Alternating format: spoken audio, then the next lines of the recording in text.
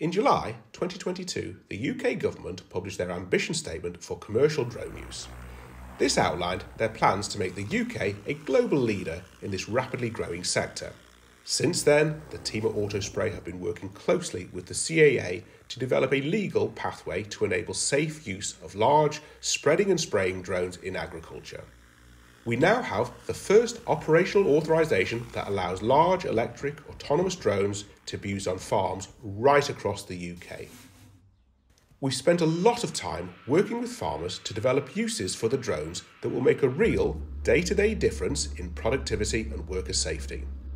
One of the first applications was greenhouse shading. Usually, this is done by men balancing on the gutters while they drag a 100 metre hose behind them as they spray on the white paint.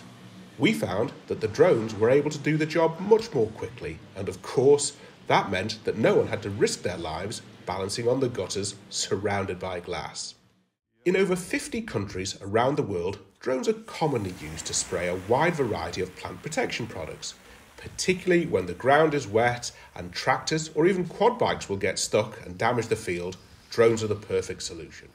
Imagine the scenario your field is waterlogged and the slugs are doing their worst. Do you risk the quad bike and just accept the inevitable damage, or do you send up the drone? It'll treat five hectares on a single load in less than half an hour, and best of all, it doesn't leave a mark on the field. And if you're a farmer in one of the most picturesque regions of the UK where the terrain can be very challenging, you'll be all too familiar with those heart stopping moments when your tractor is right on its tipping limit.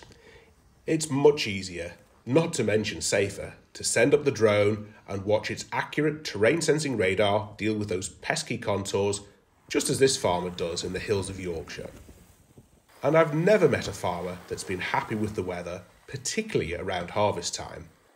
Imagine the convenience of being able to sow your next crop of oilseed rape into your standing field of wheat a couple of weeks before harvest, or being able to get your field of feed beet off to an early start all without any crop damage, no tram lines, zero soil compaction, and for that matter, no diesel.